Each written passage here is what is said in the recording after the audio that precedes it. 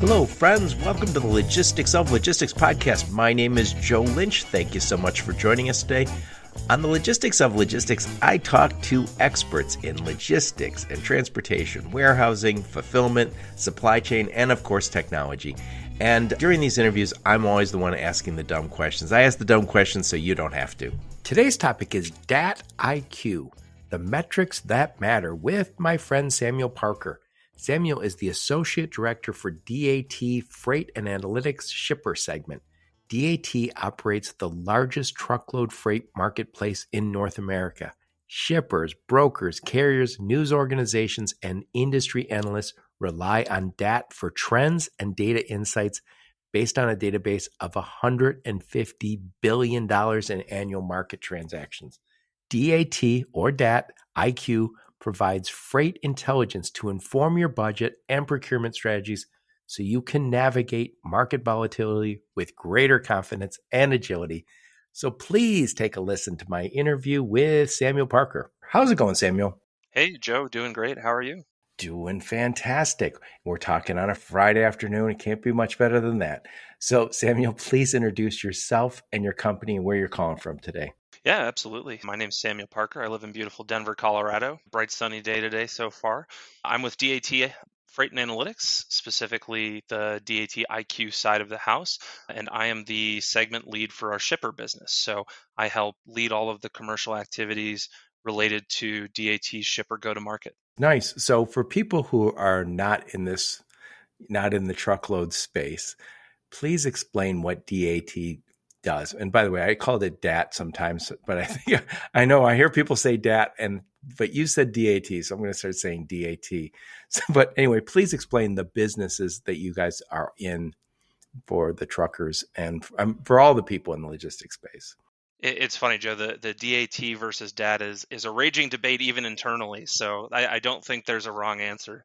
So it, it is really interesting because I think even if people are broadly aware of DAT and what we do, the specific portion of the business that I work in is probably the most nascent and least well known. So DAT was started 50 years ago, dial a truck signage around our offices. And so it was essentially a physical load board where you could walk into a, a truck stop as a carrier, as a trucker, and pick up a, a call, call in a posted load that was up. And throughout the years, that technology has evolved. We now have the largest load board in North America. It's not physical anymore, it's digital, right? Through uh, apps on your iPhone and on your Android and on your computer. And we serve hundreds of thousands of carriers. We serve thousands of brokers. And Shipper, the area that I'm in, is really where we're just getting started. So DAT has continued that load board business all the way through. Thriving business today. We attend MATS and, and all of the major trucking shows. The lesser well known side of the business, and where I sit, is what we call the DATIQ side of the house.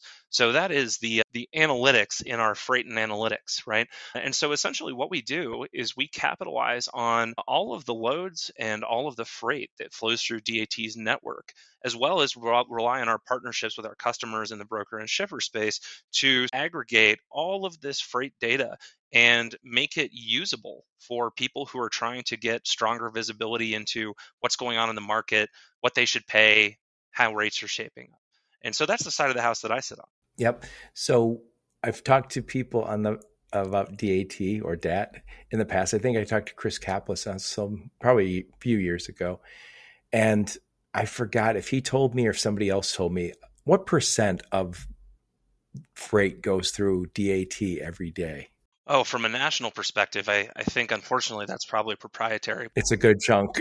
it is a very sizable chunk, especially when you break it out to specifically the spot market. Yep. And I think that's really significant because right now I could say, hey, I've got all this data. I've got 20 Excel spreadsheets full of data on a lane.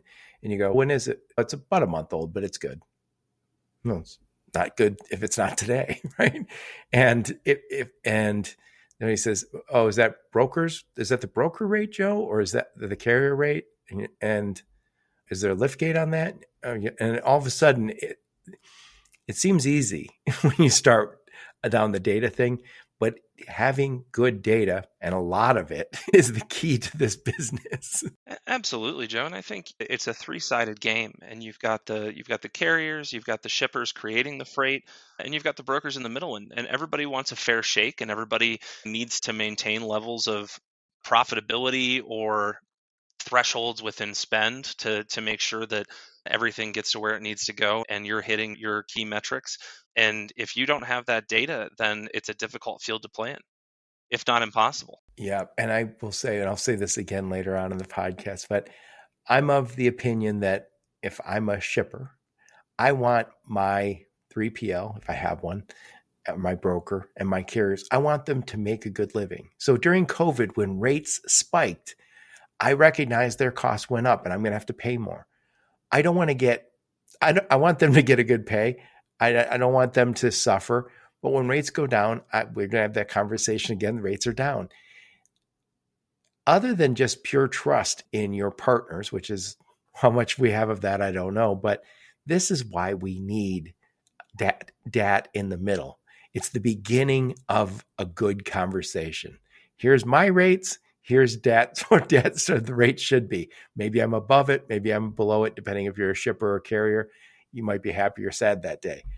But we need good data so we can have good conversations because the data isn't for fun. The data is the beginning of conversations Absolutely. And I, I, think DAT is in a really interesting position where, as I mentioned, we serve all sides of that sort of flywheel of freight, right? And so we largely view ourselves as an agnostic player. We're a provider of data and, and we help level the playing field to make sure that everyone has equal visibility.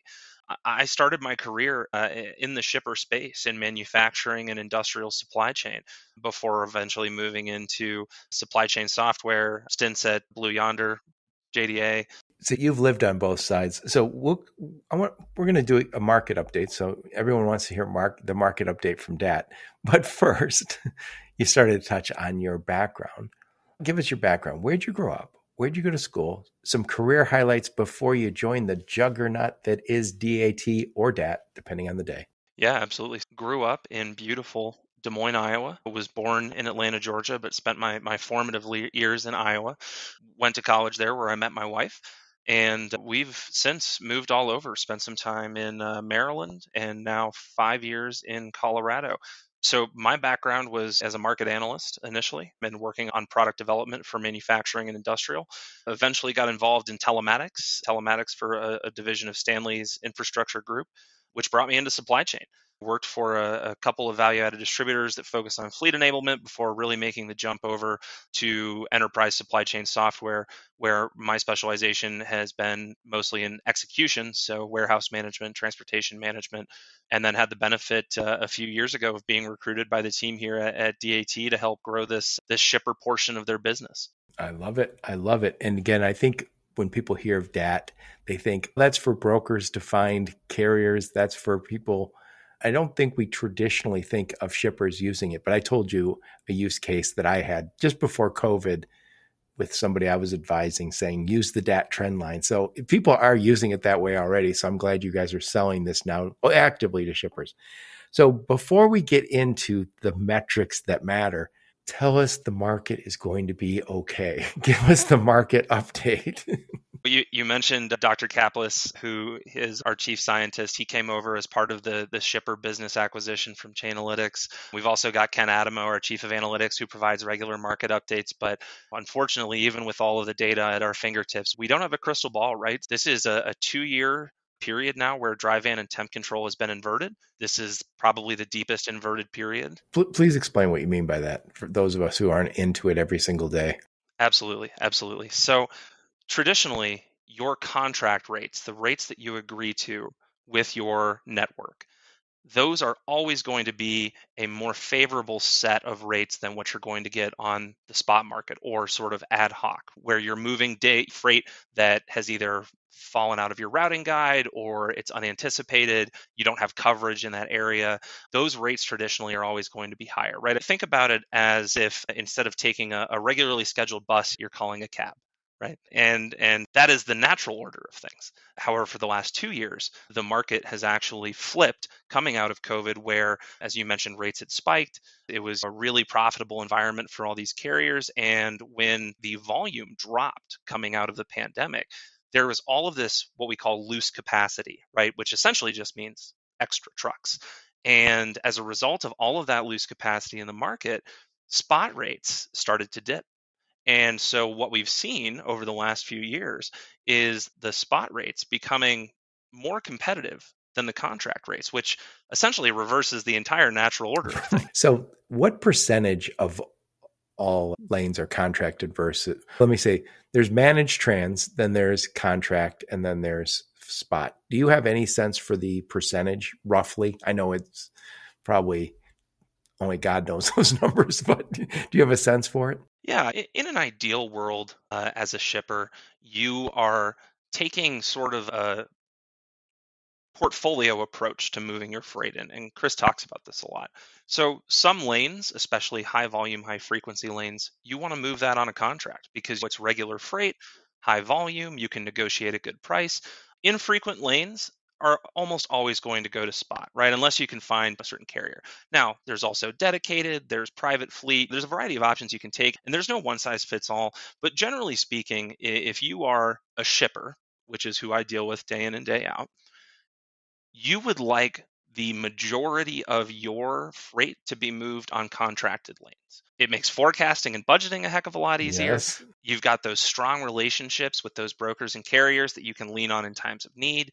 And from a pre-pandemic perspective for a long time there was annual or multi-annual contracts that were these long-standing contracts that just really made life easy for everybody I, I, can't give you an exact percentage but when you are talking to large shippers the way that they prefer to operate is to have a sizable majority of their freight moving contract. Yep.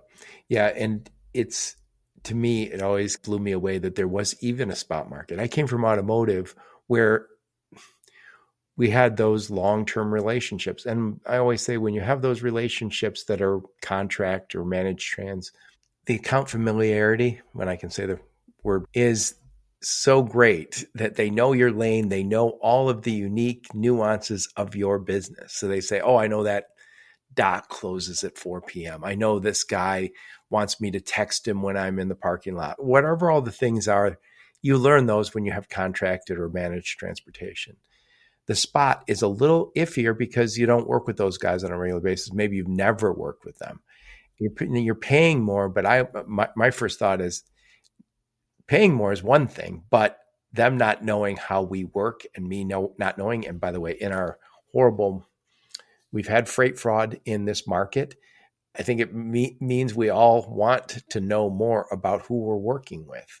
So these there's some real advantage to your point of working contracted where you say i have got these deep relationships we're not dating we're not engaged we're married to those those carriers that's right and you mentioned uh, something that i thought was really interesting earlier and i can wrap up my market update portion it's been a tough couple of years from a, a, carrier and broker perspective. And, and I think the inversion was true during the pandemic for the shippers.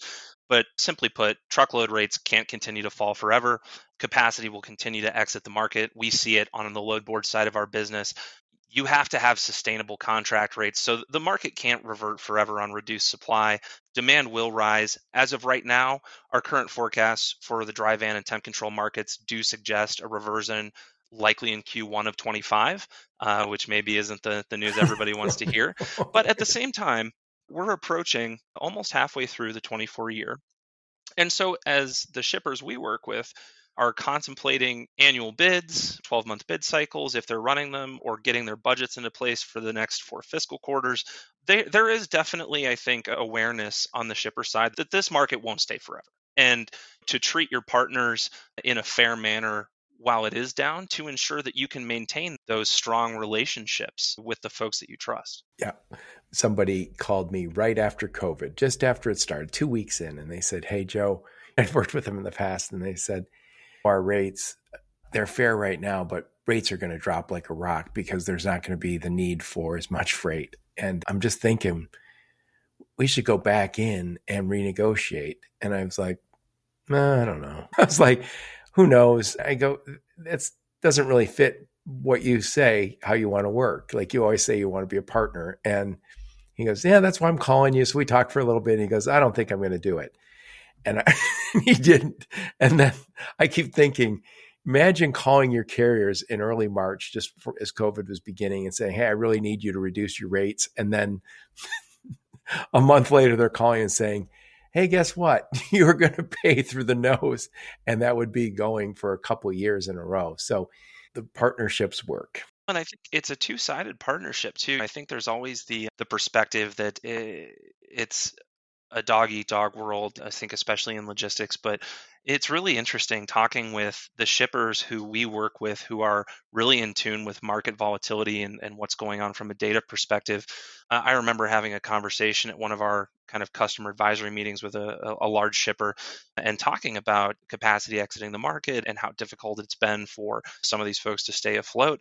And he gave me a really interesting albeit anecdotal example where he had a, a partner, longtime partner that he's been working with in the carrier space, and they put out a put out an RFP, and the carrier essentially came back at a price that he knew was not profitable right or or maybe scraping marginally the, yeah. the barest margin off of it and he said in, in some instances they'll go back to these carriers and say look you're delivering on time and in full you've provided a good level of service like we can meet you in the middle right? They would much rather maintain those partners that they have good relationships with than see their entire network churn out and have to renegotiate every contract.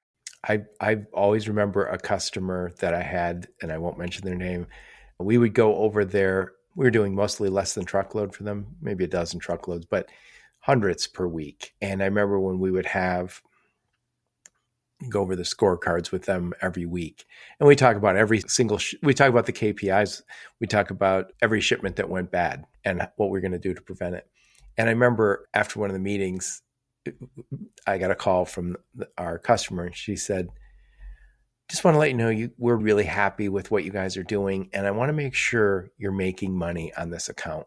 And I remember thinking, oh my god hallelujah. Like i wasn't looking to take advantage. I, I just said no we are. We're making we're making money on this. She said because you've saved us a lot of money. And i said by the way we were not using the dat trend line which we should have because i she, we were kept lowering the cost but that was i kept saying the wind is at our back. The rates are going to go back up and we're not going to be able to deliver the same great savings.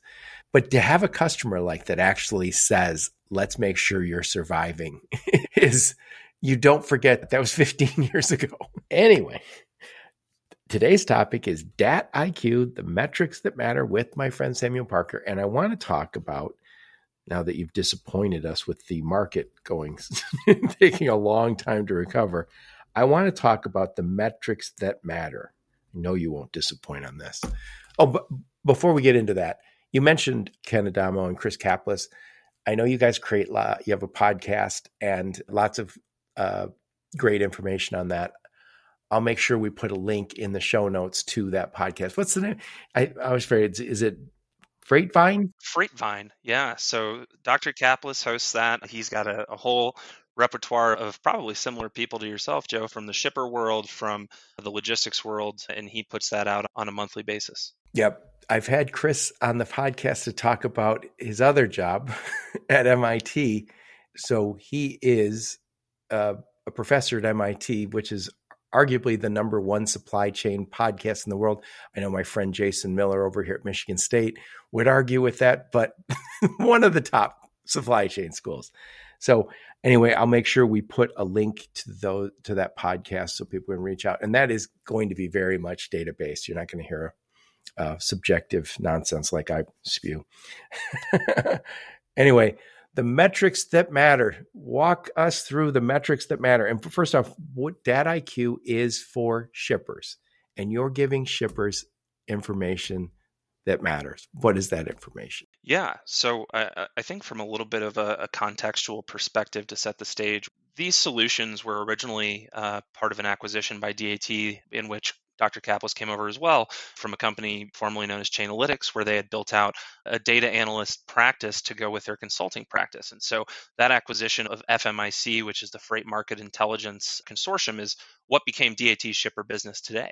And there was a few, I think, major drivers behind that acquisition, especially when you think about a company as old as DAT that's been in the space for so long. Why make the break and, and jump into the shipper space? I think a lot of that lies in the pandemic, but also in technology advancements, right? So going through the last four or five years, the market cycles have been much more volatile there's a whole lot more fluctuation in supply and demand. Some of that can be laid at the foot of omni-channel commerce, somewhat of the Amazon effect. Some of it is just changing consumer expectations, right? And making sure that your product is uh, where it needs to be when it needs to be, and and the nature of how uh, the movement of goods is evolving. But customer centricity is a top priority, especially for shippers, right? And so you're thinking about things like shorter delivery window times, cost optimization, flexible network, which means that you have the ability to get goods to different areas and different modes at different times. And ultimately, I think you're just seeing a diversification of the way that transportation and logistics functions for shippers. All of that comes down on the head of who? The purchasing guy? Person responsible for moving the goods. That's right. Yeah exactly. And these transportation and logistics executives these have become strategic issues within the business. Transportation managers are increasingly in the spotlight. It's a new seat at the table to some extent but you need to have a strategy for transportation planning and how you manage your transportation. And these are not necessarily things that people were dealing with 20, 30 years ago. And it's not necessarily things that everybody's equipped to deal with today. Yeah, if I could add if I could add one little thing in there.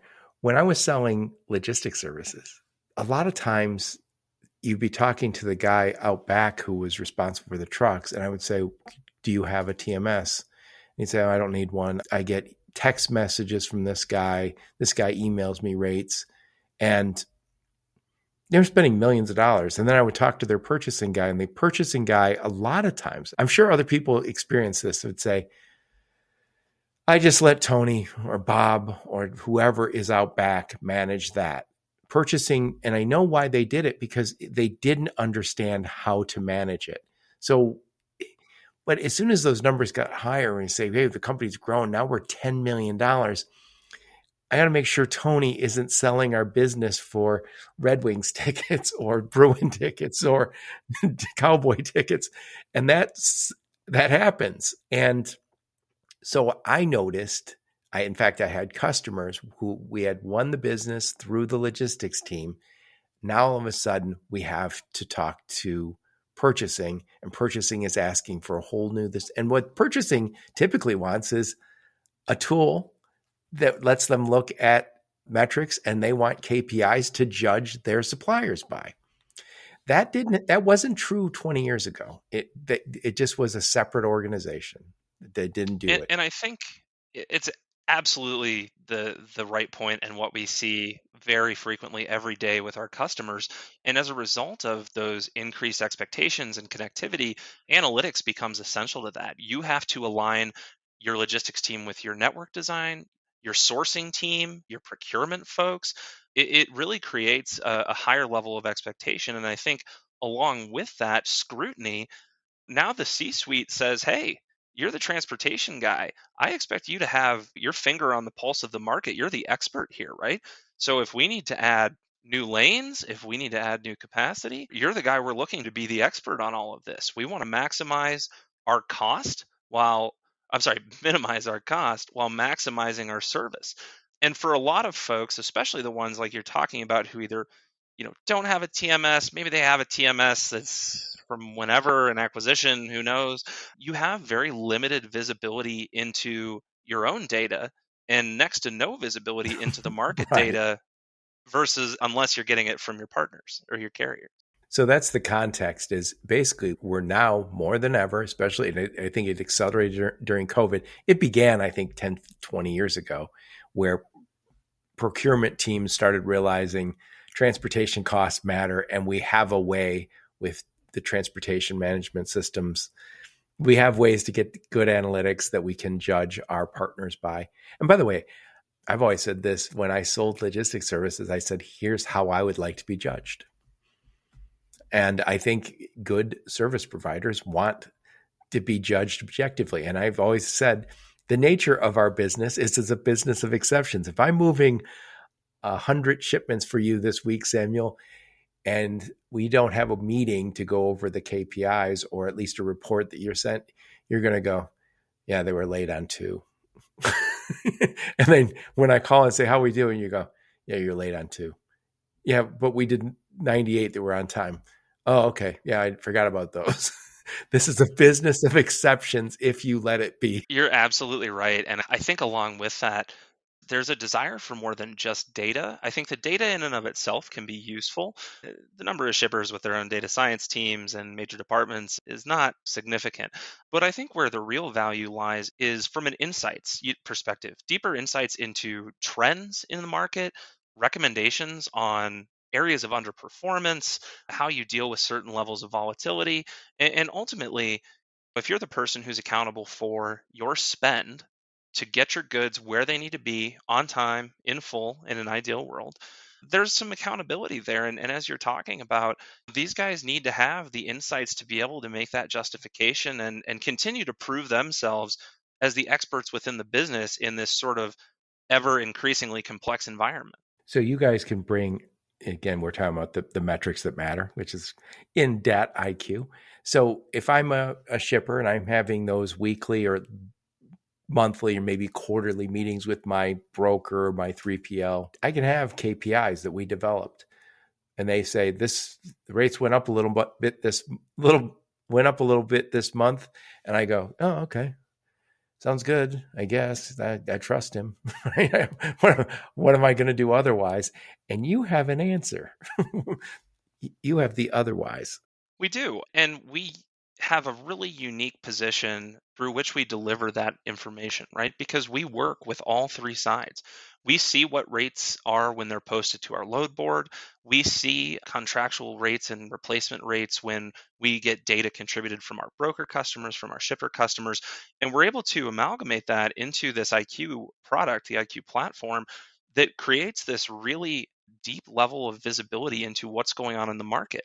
And the three big things that we see customers coming to us for, especially on the shipper side. Number one is just straight up rate data. What should I be paying for this lane? I've got a bid that I want to put out. I've got a new distribution center that I'm adding a, a network to. I have no idea what's the right price in this part of the country at this time of year, right? And in this market cycle, right, where we're at. So that's the most basic kind of standard use case that we see. And then I think you get into to what I consider to be some of the more interesting ones. So the next one is capacity. So I'm looking to add capacity, right? I'm starting to move more LTL. I need visibility into what the capacity is in different markets. Is it a loose market? Is it a tight market? And for those of you listening at home, essentially that means how many trucks are available in that market at any given time. You want to try and move a, shipment of goods out of Florida during growing season. Good luck that's going to be a tall order. And you might not have anything to do with growing season, but you, are still impacted by what's going on in the market. And then I think finally, the third one, which is a little more strategic, that's uh, what we call benchmarking. And, and that's our, our new IQ benchmark product that's in the IQ platform specializes in that. But essentially, it's exactly what it sounds like. It's, it allows you to take your freight spend and benchmark it against the market. So, whereas the rates and capacity metrics are really just uh, one size fits all, right? You can take a look and see, hey, what's going on in this lane? You can actually take your own data and specifically look at an area of your network and benchmark it against other people who are the same size as you, other people who might be moving, call it reefer versus dry van, down to the lane level or the zip code level to see how good of a deal am I getting on this? And that's super important when you're thinking about putting a new RFP out into the market, when you're sitting back at the end of the year and you want to evaluate how well your service partners basically priced you, and when you're looking for forecasting into the future. These are huge activities within most companies. Right. I want to go back and talk about each one of these individually. So, the first one you said was visibility into rates, and that's so visibility into rates, capacity, and benchmarking. So, first is visibility into rates. So, if I'm a shipper and I say, okay, I'm going out for bid, I send it out. Now, if I'm send, sending it out to carriers, is there a, a so is, does DAT split out brokers versus carried carriers? Because I know brokers are typically going to add a little bit of money to things. Yeah, so you can see data based on kind of contribution. Most of our shipper customers, as you can imagine, like to compare themselves to other shippers, uh, especially shippers of similar size who are moving maybe a similar amount of volume and have similar amounts of leverage as opposed to a small shipper. But yeah, you can use our tools provide rate visibility to a very tactical day-to-day operations level where if some freight falls out of your routing guide and you need to source somebody to help you move it through, you can take a look at that individual lane and see based on the latest contributions what a fair range might be. Yeah, and one of the challenges, and again, I've been on a few sides of this, is if you were to say to a shipper right now, "Hey, what is Chicago to Atlanta? What's that cost right now?" They say, "Oh, we last week we paid this much, whatever. I don't, I have no idea what that rate is right now." I'm afraid to know. Whatever that rate is, you say, we paid that much last week and something might be different this week. We'll call four guys and we'll get four different four different prices. Now, first off, I'm wasting time for most of my people. And brokers after a while, carriers after a while start to recognize the nonsense, right? You're just you don't have you don't have DAT IQ, so you are creating a very rudimentary rate visibility tool based on four whole phone calls you made. Yep. Your survey of the market. Yes, your market survey. Congrats. You tell the boss, yeah, I was busy this morning. I did a market survey. But maybe they all know you overpay, right? And your freight is always different. That's the nature of what we do is uh, whether it was a lift gate that required accessorial or you live certain place. But anyway, getting back to it, you have actual rates that so I might say I always pay X for that, but the DAT rate is X minus one percent. I'm I'm good with that as long as I, I say I'm close enough. But I want to be able to explain to my boss that I have real information here because if he said, "Oh, tell me about the market survey you did," oh yeah, I made those four phone calls today. Remember, I would much rather say I invested in a tool that gives me a, that proves that we're doing the right thing or help us get on track.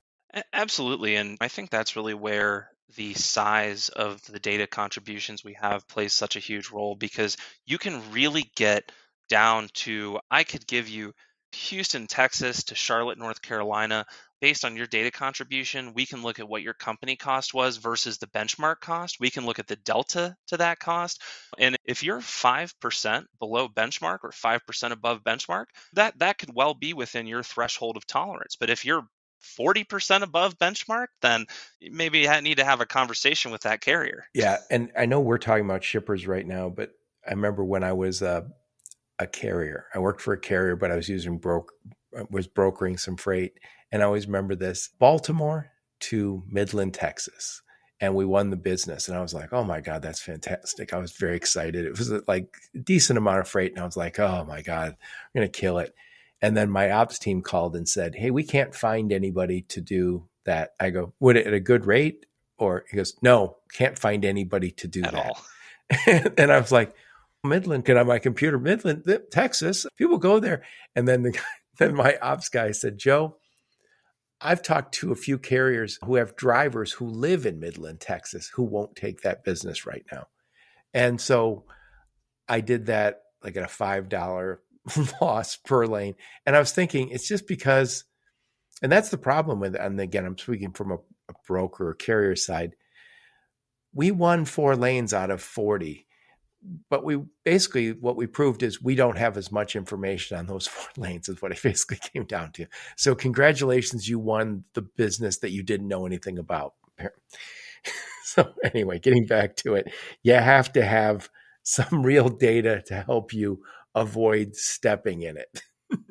Absolutely. Absolutely. And it's interesting, one of those things where if you build it, they will come. But we see our customers using these tools in more than just the tactical lane rate way, right? So they'll use it for lane level analysis is probably the most common use case that we see. A lot of them use these tools for reporting up to their management to show that they are competitive with the market. They'll use it as a gauge against inflation. So, what's your cost change versus the index trend? How are you handling that? Carrier analysis, right? It's it can definitely be a, a form of carrier scorecard. Yeah, I, I know they're using it for port stuff because I, I did it when I was still in automotive. If we get it, if we get it in LA and ship it versus getting it out of Houston, and we could do it real quickly. Anyway, so visibility into rates, obviously we want that. And then we're talking about shippers, but this also applies to brokers. You talk to you'll talk to brokers too when they call or carriers. The next one is capacity. Please explain how that works. Visibility into capacity.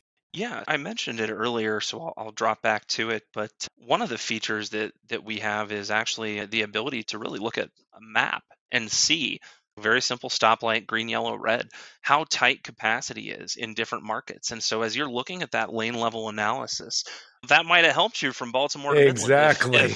it would it would have said red. It would have been a whole bunch of red on that. On that. Oh, it may, maybe it just would have been white, like not any drivers at all. But so that's one component of it. That's a very tactical piece.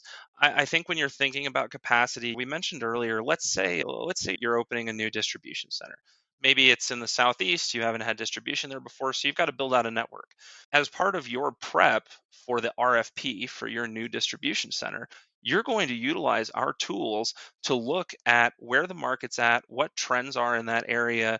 You're going to look at capacity you're going to look at pricing and ultimately that will help inform the uh, the budget range that that as a shipper you would put together in expectation for that RFP, right? And I think historically it's just like you said, we'll send it out to 10 different brokers and we'll just see who we'll see what the range is as it comes back and, and what the reputation survey. is. And so this kind of tries to take a lot of the guesswork out of that and provide a, a better prepared analysis when you do that RFP prep.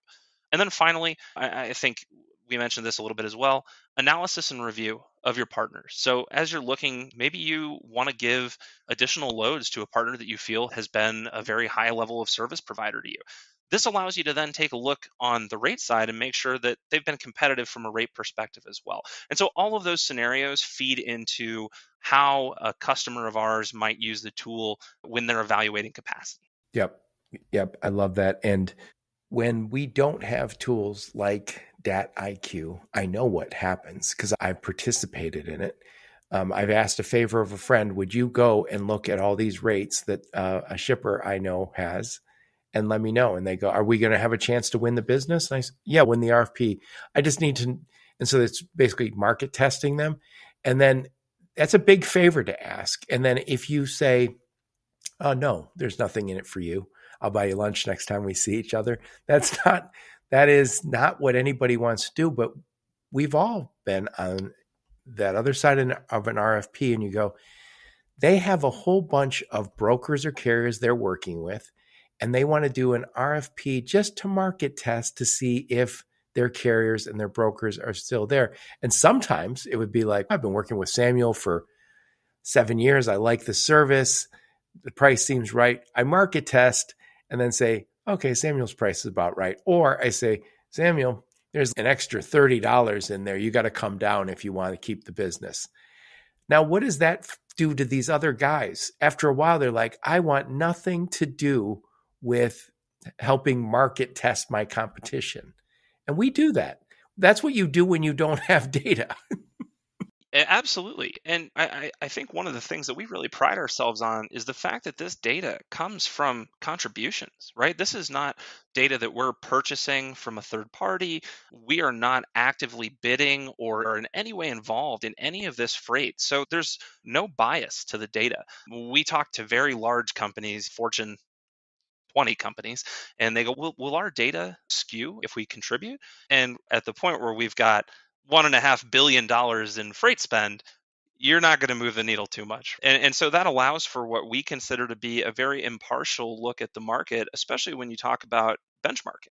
Yep, I love it. So we got into this benchmarking and you I wrote this down before we hit record. You said benchmarking against freight rate market cycle. What do you mean by market cycle? Yeah, in addition to the kind of seasonal trends and changes that you see in capacity, there's also the factor of what's going on in the larger market, which we touched on at the beginning of this call, where uh, you may pay more because you're moving something out of Florida during growing season. But because of where we're at in the freight cycle currently, which is dredging along the bottom, I think I heard someone refer to it as, it's still going to be a, a, decent chunk of savings that over maybe what you would have paid in 2021 or 2022 certainly 2020 and so that's one of those things where you can look at a lane historically or you can look at an area of your network historically and see what might have been a reasonable price to pay but i think there's a recency bias and the ongoing contribution of data helps us combat that recency bias to understand if one of my trusted carriers comes to me and says this is going to be 30% above what you typically pay there's probably a good reason for that but you have to be able to validate that especially as you go report up to your boss right? Yeah what is that the old russian saying i think it's trust but verify right? I completely trust you but i also use DAT IQ so i'll just double check. And ultimately i have to justify that at the end of the day right? I, I can't just say jim he's a really good guy. He wouldn't steer us wrong. You and i before we hit record we were talking about this is when we're talking about benchmarking in large companies, and I've been part of this, and I know you said you have too. When you go to the C suite and they say, oh, transportation costs went up this much. And so the big boss says, why'd they go up? And they say, because our 3PL said they went up, or our carriers said they went up. Did they actually, does the market go up? When you want to do that market survey where we call four other companies? like, so that's not going to be a good answer. And I've joked about this, but it's not even a lie when you go see senior management in a Fortune 500 company, you are usually you've got down to 10 slides, but you might have 100 slides in backup. and that is when they start drilling down, and this is what VPs always do, they pick one thing and they drill all the way down and make sure you have all the answers. And if you don't have a market benchmark, you don't have all the answers. You are just basically saying, we trusted our we trust our and by the way maybe you do trust your 3pl and your brokers and i, I hope you do but it's still not good enough because they're never going to most of them aren't going to say hey good news rates went down 5% we lowered our price this week. Because they might say we lost money last year on the same lane. We need market research and by the way i've said this before this bugs me as a somebody who's advocated for shippers and sometimes is when the rates go up, or so when truckload rates go up 20%, and then the, the broker says, yeah, our rates went up 20% too. Wait, what? Your rate went up 20%? Yeah, because we get a percentage, 20, we got a, mar- our margin went up. So did the job get harder for you? No, just same. It's just as easy. Just so I I would want if I was a shipper, I would say I don't mind. I want my if I have a broker in the middle, if I have a 3PL in the middle, Cool. Make sure you're adding value. Otherwise, I don't want you there. But I also don't want when the market jumps, I don't want you making more money. And what's funny, I, I love the anecdote about the 100 slides behind the 10 slides because if you think about the folks who utilize our products every day, and I'll give a, I'll give a, a, little plug here, right? Dr. Caplice and myself and, and some others of our team, we host a, a, monthly, we call it a roundtable for any of our shipper customers, where they all jump on. We talk about what's going on in the market. We give a little market update, and and basically have an open discussion, which is really awesome to see that all these different shippers come together and talk about their problems. Or, or opportunities, as it were, right? But uh, one of the interesting things is the average user who's in our rate products looking at lane level truckloads, right? That's transportation analyst, maybe a logistics manager, somebody like that. Those aren't the folks that always join the roundtable calls, right? Sometimes it is the vice president, sometimes it is the the head of logistics who who's yeah, I've been talking to my guys about what they're seeing in the tool, but I want to hear it from I want to hear it from you guys. yeah, yeah, and it's always a very stressful moment when you're there because it, no one wants to go into the vice president's conference room and look like a fool and have to walk back out with all your friends and go, I hope none of us are getting fired on the because of our our tomfoolery. Anyway, um, talking to Samuel Parker, and we're just talking about DAT IQ, the metrics that matter. So those metrics are visibility into rates, capacity, and benchmarking. So I want to know what the rates are. I want to know what the capacity is. I do want to have a tool that lets me show my vice president that I am doing a good job. We talked around RFPs a few times today. So I think there's a trend to do more RFPs and we're going to do more RFPs. We can do them quarterly. I know there's tools out there now that makes it easier. And I, the advantage, and I would say of, the, of a quarterly RFP or maybe even a seasonal RFP is you give the broker or the carrier 3PL they only have to get they only have to understand the next 12 weeks so they can potentially give you a little better price you're not asking them to see a year into the future like a fortune teller how does that work into all of this yeah i, I would say it's probably a top driver along with volatility for reasons that people come to us. Running a bid is sure, maybe it's a little easier nowadays than it used to be on pen and paper, where you all have to sit on the conference call for the, a week. Even Excel spreadsheets was ridiculous. And by the way, as a carrier, I worked at one. Uh, When you get that email from someone you haven't talked to in a year, and they just send you an email saying, "Hey, please fill up this Excel Excel spreadsheet with thousands of lanes. Yeah. And I remember the first time I got one, I thought it was going to be rich. I thought there's a thousand lanes. And then I talked to the vice president of operations. He goes, and he started going by state. He goes, we're only interested in these states, this lane. There was like 20 lanes in there. I was like, and then we didn't, then we won five. Was like, damn it. No, and and it's it is we hear it talking to our customers on the shipper side. The expectation is, hey, if you want to keep up with the market, you you run these mini bids or these mini RFPs and tools for making it easier notwithstanding, that's just more times of the year that you have to be on top of what's going on in the market. You have to have your pulse, right? Your finger on the pulse of that capacity, of what rates are doing. And so it just, I think, if anything, enhances the need for that level of visibility and monitoring that DAT's IQ platform provides. So before we put a bow on this one and wrap it up, if somebody's listening and they're a shipper and they say, "Okay, how does this work? How, if I want to, if I want to, if I want to use DAT, how do I go about that?" So let's they reach out to you and you connect them with the right people within DAT. What's that process look like?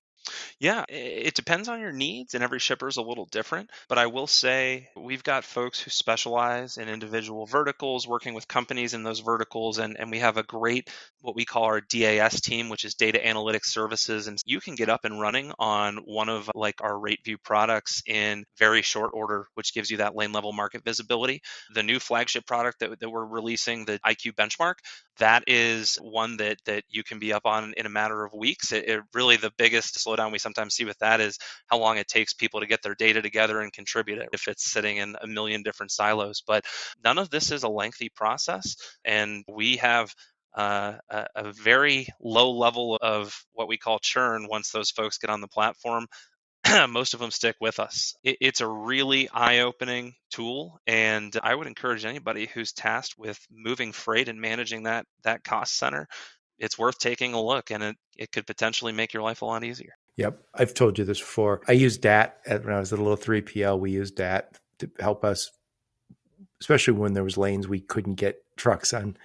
And it also, we ended up building some nice relationships. But another time I was representing a shipper and I said, as the new 3PL was in, implemented, doing a lot of transportation, I said, I want the DAT trend line in here. And they said, should we be above the DAT trend line or below it, meaning we're paying less? And I said, I don't know. I just want to see it parallel. I don't ever want to see the rates overall in the market going down while your rates are staying the same or going up. And I said, it's just, it, you're spending so much money. And that was a company's probably spending well over 70 million a year.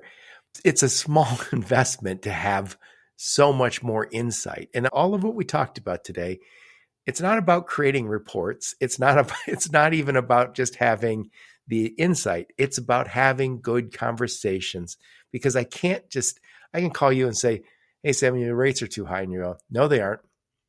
Oh, yeah, they are. And you say, "No, they're not." That's not a useful conversation. What's useful is to say, "Here's the DAT trend line and we are looking at that and always comparing our performance. And when I say our performance, the shipper, the carrier, uh, and the broker, it's our performance. Because a lot of times when some shipper complains that the prices are too high, it's because they're giving the information to the shipper, to the carrier, and the broker too late. They're doing things that delay the process. So it is our performance. That's why we need this to measure our performance. Anyway, enough of my blather.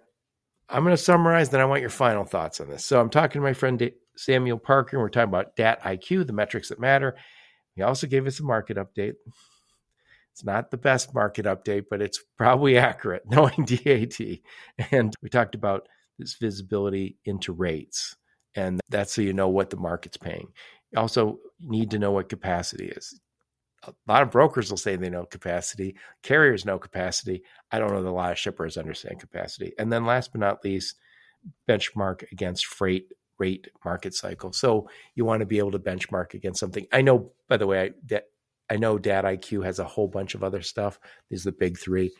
And then last but not least, we just talked about the RFP process. Put a big old bow on this one, Samuel Parker. Yeah, I think that as we continue to see volatility throughout the freight market, as we continue to see fluctuations in pricing and demand, as well as the technology to deliver products, this continues to become a more complex landscape. And uh, with the data that's available today through solutions like DAT, there's no reason for you as an expert, as the person in charge of transportation and logistics, to not have all available insights at your fingertips, right?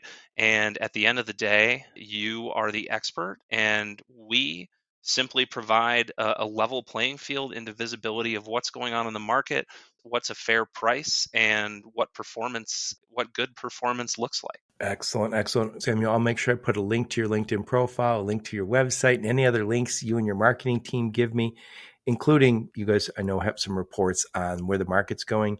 And we'll also put a link to Chris Caplice has that podcast. Do you have a, that's Freightvine? Do you guys do another podcast too? We do the IQ Market Update with Ken Adamo and with Dean Ken. Okay, so we'll put a link to that too. What com- first off, my last interview, I was talking to Nicole Glenn, and she said I'm going to dat dot datcom, and I said, oh, wait a sec, when is that? And I wasn't sure of the date or the or the location, but I think it's in the Midwest, Kansas City. It, it is, yeah. So last year was in, in, Texas. This year we're moving a little bit north. So DatCon 24 is October 22nd through the 24th in Kansas City. Say that date one more time. October 22nd through the 24th in Kansas City. Oh, nice weather. I like it when I don't have to leave my time zone. I'm willing to go to Central. I'm in Eastern. Easy for everyone. yes, exactly. So what goes on? I know that is has a shipper specific day. Am I right to say that? Yeah, so if you are a member of our shipper customer base that utilizes our benchmark products, you're invited for a shipper shipper only day. It's the day before everyone else arrives, and we host a, a number of roundtables, panels with large shipper customers, with experts in the market, put on by myself and, and Dr. Caplice, among others. It's a great day to, to interact with the other shippers, and then a surprising amount of them decide to stay when the rest of the show opens. When we bring in brokers and the rest of kind of DAT's customer base for a couple days of panels and speakers on everything from what's going on in the freight market to how to improve your margins. Yep. So you have to hire uh, like a whole bunch of bouncers to, to prevent the brokers and the carriers from sneaking in into the day one. See, that's why we have it the day before. Nobody's there yet, but we do get a few folks wandering by, looking in the door, looking in the window, lingering outside. Yeah, everybody plays really well together. It's a really great event. See, I love that. I love that shipper focused. It's very interesting. My friend Jim does a shipper survey every two years and it's just why they buy. He's a marketing guy, and he said the biggest problem. We I help him every other year when he does it. And he says, Joe, the biggest problem is brokers and carriers want to answer on behalf of shippers. I was like, yep, they know better. Anyway, I love what you guys are doing, and I, I hope to be at dat. I said datcom, but it's datcon and that's October 22nd through the 24th. We'll also make sure we put a link to that. What other conferences will we see you and the fine folks from DAT at? Probably all all conferences from what I gather. We do have a number of them, but actually the biggest one coming up on the horizon just 2 weeks away here is the uh, the Gartner Supply Chain Expo and Symposium down in Orlando, Florida. So our shipper team will be there. Dr. Caplice will be giving a presentation. It's one of the events I look forward to the most every year. Not so much going to Orlando, but to engage with all of those all of those shippers and the analysts that that congregate in that space. Awesome. If you want to find DAT, it's easy to find them. They're everywhere. Samuel, thank you so much. I love what you guys are doing. Thanks, Joe. Thanks for having me. And thank all of you for listening to my podcast. Your support's very much appreciated. Until next time, onward and upward. You have been listening to the Logistics of Logistics podcast, where we engage with leaders in the logistics and supply chain community. If you like what you hear, please subscribe, hit the like button, and leave us a nice review on Apple or Spotify or wherever else you listen. Also, please check out our videos on YouTube and connect with us on LinkedIn. We're very big on LinkedIn. And you can also reach us on the logisticsoflogistics.com, our website.